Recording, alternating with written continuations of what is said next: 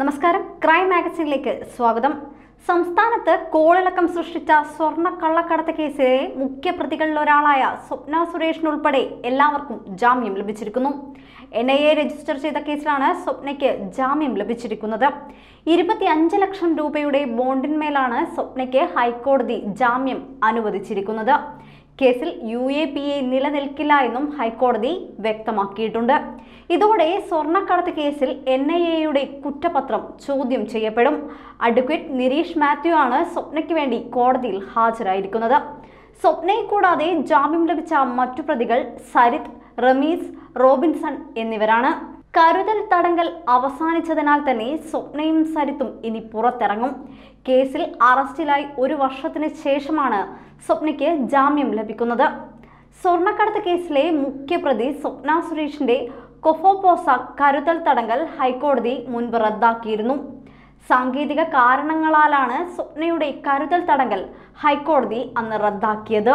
ഒരു വ്യക്തിയെ കരുതൽ തടങ്കലിൽ വെക്കണമെങ്കിൽ അയാൾ പുറത്തിറങ്ങിയാൽ സമാനമായ കുറ്റം ചെയ്യുമെന്ന് ഉറപ്പാക്കുന്ന രേഖകൾ ഹാജരാക്കേണ്ടതുണ്ട്. എന്നാൽ ഈ രേഖകൾ ഹാജരാക്കുന്നതിൽ വീഴ്ചയുണ്ടായി. ഇതിനെ തുടർന്നായിരുന്നു സ്വപ്നയുടെ കരുതൽ തടങ്കൽ ഹൈക്കോടതി അന്ന് റദ്ദാക്കിയത്. അതേസമയം സമാന കേസിൽ ജയിൽ മോചിതനായ കേസിലെ പ്രധാന പ്രതികളിലും ഒരാളായ സന്ദീപ് നായർ ആഴ്ചകൾക്ക് മുൻപ് തന്നെ പുറത്തിറങ്ങിയിരുന്നു. സ്വപ്നയെ സഹായിക്കാനാണ് ബംഗളൂരുവിലേക്ക് താൻ ഒപ്പം പോയത്. സ്വർണക്കടത്ത് കേസുമായി ബന്ധപ്പെട്ട് താൻ ഒന്നും പറയില്ല. എല്ലാം കോടതിയിലാണ്. ഡോളർ കടത്തിയതായി തനിക്ക് അറിവില്ല. തനിക്കറിയാവുന്ന എല്ലാ കാര്യങ്ങളും മാധ്യമങ്ങളോട് പറയാൻ തയ്യാറാണ്. സ്വർണക്കടത്തൊക്കെ കണ്ടെത്തുന്നതിന് മുൻപാണ് നെടുമങ്ങാട് വർക്ക്ഷോപ്പ് തുടങ്ങിയത്. ഉന്നതർക്കെതിരെ മൊഴി നൽകാൻ എൻഫോഴ്സ്മെന്റ് നിർബന്ധിച്ചുവെന്നും സന്ദീപ് നായർ പറഞ്ഞിരുന്നു. കേരളത്തെ പിടിച്ചുകുലുക്കിയ കേസുകളിൽ ഒന്നായിരുന്നു സ്വർണ കള്ളക്കടത്ത് മുഖ്യമന്ത്രി പിണറായി വിജയൻ ഉൾപ്പെടെയുള്ളവരുടെ പേരുകൾ കേസുമായി ബന്ധപ്പെട്ട് ഉയർന്നു വന്നിരുന്നു. കേസിൽ മുഖ്യമന്ത്രിയുടെ പ്രിൻസിപ്പൽ സെക്രട്ടറി ആയിരുന്ന ശിവശങ്കരൻ ഉൾപ്പെടെ പ്രതിയാണ്. മുൻമന്ത്രി കെ ടി ജലീൽ സ്പീക്കറായിരുന്ന ശ്രീരാമകൃഷ്ണൻ എന്നിവർ ഉൾപ്പെടെ ആരോപണ വിധേയരായിരുന്നു. എന്തായാലും കേസിലെ മുഖ്യപ്രതിയായ സ്വപ്ന സുരേഷിന് ഇപ്പോൾ ജാമ്യം ലഭിച്ചിരിക്കുകയാണ്. ഇരുപത്തി അഞ്ച് ലക്ഷം രൂപ ജാമ്യമായി കെട്ടിവെച്ച് സ്വപ്നയ്ക്കിനി പുറത്തിറങ്ങാൻ കഴിയുമെന്ന വിവരമാണ് ഈ മണിക്കൂറുകളിൽ പുറത്തെത്തുന്നത്. എൻ ഐ എ രാജ്യത്ത് രജിസ്റ്റർ ചെയ്ത ആദ്യത്തെ സ്വർണക്കടത്ത് കേസായിരുന്നു തിരുവനന്തപുരം വിമാനത്താവളത്തിലെ നയതന്ത്ര ബാഗേജ് വഴിയുള്ളത്. ജസ്റ്റിസ് വിനോദ് ചന്ദ്രൻ അടങ്ങിയ ഡിവിഷൻ ബെഞ്ചാണ് ജാമ്യാപേക്ഷ അംഗീകരിച്ചത്. കേസിലെ മറ്റൊരു പ്രതിയായ സരിത്തിന്റെ കൊഫോപോസ കാലാവധി കുറച്ചു ദിവസങ്ങൾ കൂടി ബാക്കിയുണ്ട്.